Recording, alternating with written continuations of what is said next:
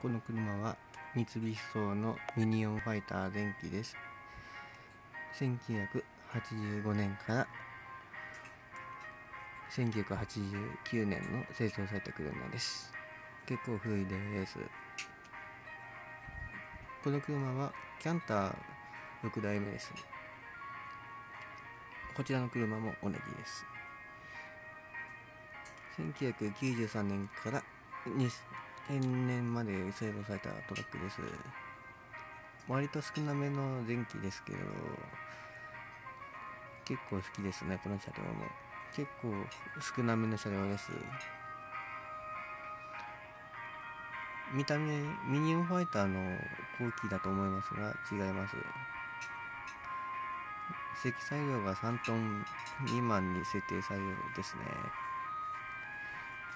結構見ると寝落ちしてるけど結構少なめの車両です東京の都内だと結構見かけるトラックです。あとは栃木とか行けば2桁とか走ってますね。茨城。群馬も走ってます。都内では結構税域が結構見かけます。5代目と比べるとこっちの方が若干新しめです。以上です。